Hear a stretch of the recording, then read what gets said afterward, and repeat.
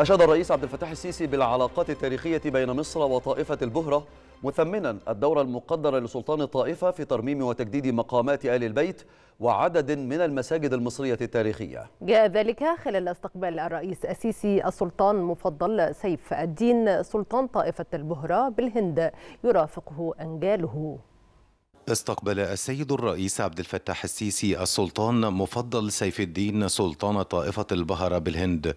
يرافقه أنجاله الأمير جعفر الصادق عماد الدين والأمير طه نجم الدين والأمير حسين برهان الدين وذلك بحضور اللواء عباس كامل رئيس المخابرات العامة والسيد مفضل محمد ممثل السلطان بالقاهرة.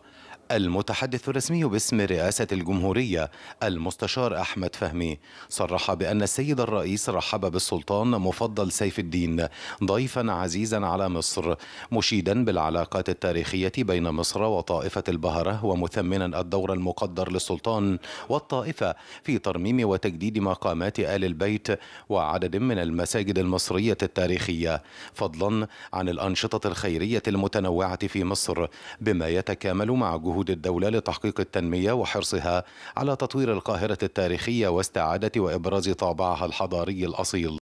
من جانبه أعرب سلطان البهرة عن تقديره البالغ لمصر مثمنا ما تتمتع به تحت قيادة السيد الرئيس من تعزيز للمواطنة على أساس التسامح الديني والتعايش السلمي بما يكفل للجميع مناخا مستقرا للسلام الاجتماعي ومشيدا بإيمان السيد الرئيس بأهمية الحوار بين كافة شعوب العالم بمختلف مذاهبها وأعراقها وانفتاح مصر على كافة الأديان والطوائف استنادا إلى تاريخ شعبها العريق وحضارته خبرته الفريدة وفهمه الصحيح للدين.